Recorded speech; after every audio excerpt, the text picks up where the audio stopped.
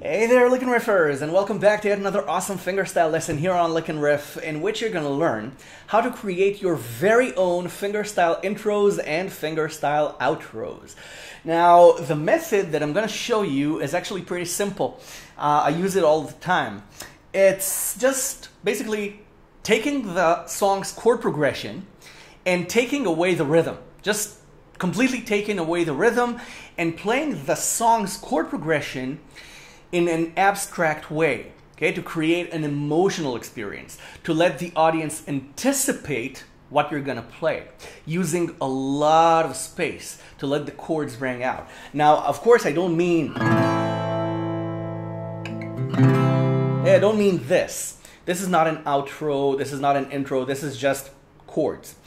What I mean is, if you take, for example, a song like House of the Rising Sun, okay, if you play it like the Animals, okay, or if you play it uh, in fingerstyle and you play it uh, in Travis picking, let's say,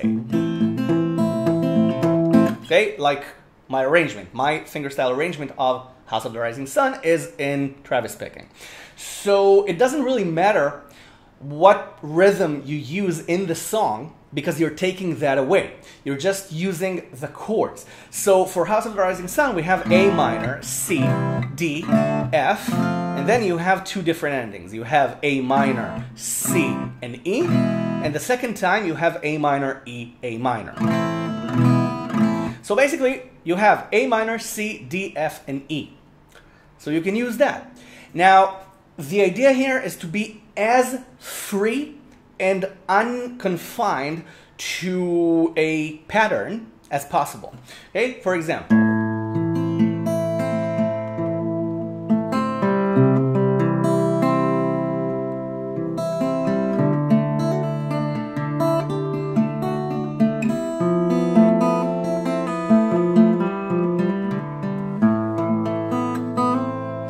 Now, I deconstructed the chords. I pulled off some notes to open strings, even the F chord. Okay, I opened the first string, then I opened the second string, then I opened the third string, then I opened the fourth, and and I went back to A minor. Now, of course, you can add a little bit of the scale in there. Okay, for example, in the key of A minor, you can add three, okay, the third fret on the first string, the second string, and on the bass. And you can also play it on the fifth string. So you can add just small licks in there without being overtly solo-ish.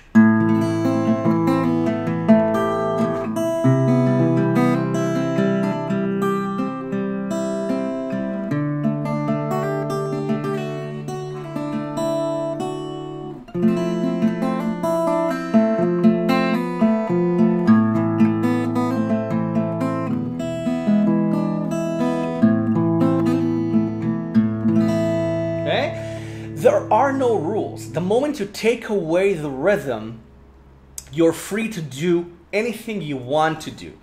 And you see, I'm, I'm drawing out the chords a little bit. I'm letting your, um, I, you right now are my audience. So I'm letting you wait for me to move on to the next chord. I don't change the chords according to a specific tempo. Okay? I draw out the chords to create anticipation. That's what intros and outros are all about. So um, if you want a little bit of bass, okay, you can go bluesy, okay, or just a little bit without vibration, or you can uh, create a whole bass line. Okay, zero, two, three, four on the bass, and then A chromatically. Or you can just use the scale. Okay? Uh, you can play 0, 2, and 3 on the A string.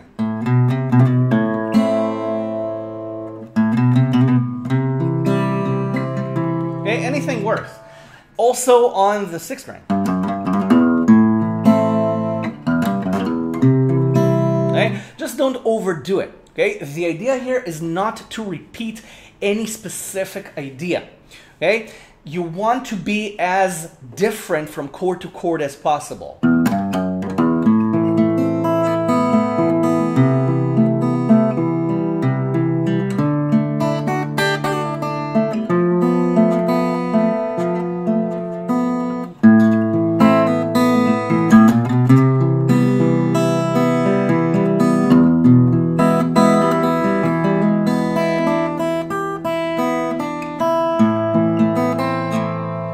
Can slide to five.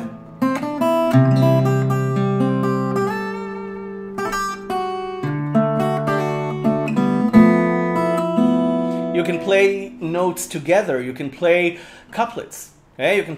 It's called double stops. Okay, you can play two strings together.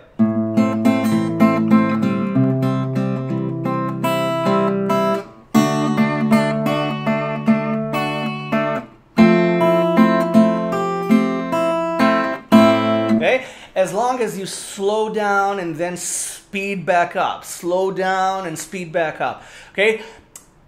Don't be predictable. Just be free to play whatever you want.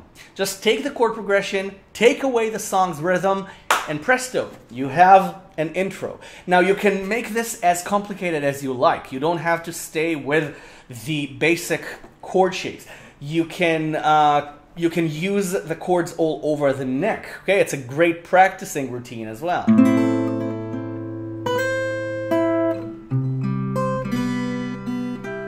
Okay?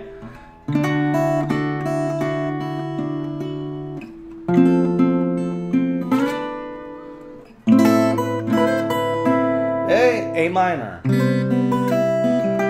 C, now D.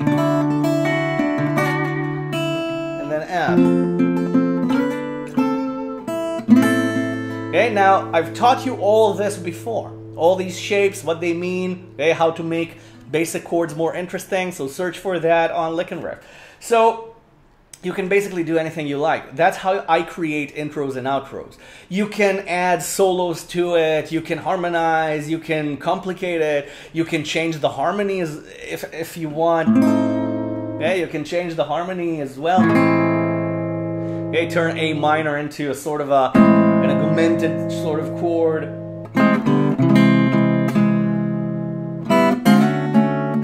Okay, just change the chords. But why? Why? You want to play an intro to create interest, not to show off your skills. So just let it flow and feel it. Feel it. Okay? So uh, if you want more fingerstyle help, okay, more structured fingerstyle help, I have my Break Your Boundaries course program. You can check it out at licknriff.com slash courses. Um, so um, I'll see you on the other side, and I'll see you in the next lesson. Subscribe to the channel if you haven't already. Bye for now. Enjoy. Thank you.